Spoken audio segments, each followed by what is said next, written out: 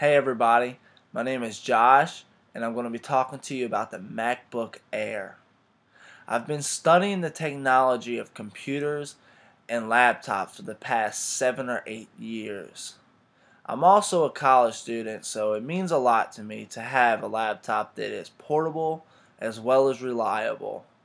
And the MacBook Air is a perfect example of both.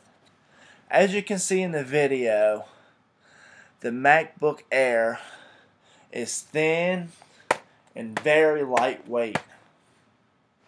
Other laptops that I've had in the past have been a hassle to bring to school. They're just too bulky, they weigh too much, and they take up too much space. Since I've had the MacBook Air, I've had zero problems bringing it to school. Another benefit to the MacBook Air is the keyboard.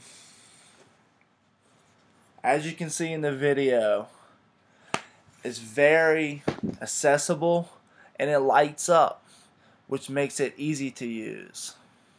Another benefit would be the battery lifespan, which is 7 to 9 hours. That's phenomenal.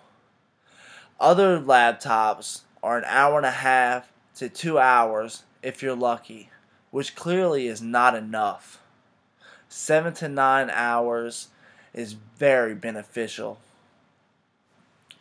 The greatest benefit to the MacBook Air would have to be the fact that it does not catch viruses. Other laptops catch viruses and crash on you. You don't have to worry about that with the MacBook Air. It does not catch viruses like other laptops, which is the number one benefit to buying the MacBook Air. I recommend the MacBook Air to any college student. Thank you.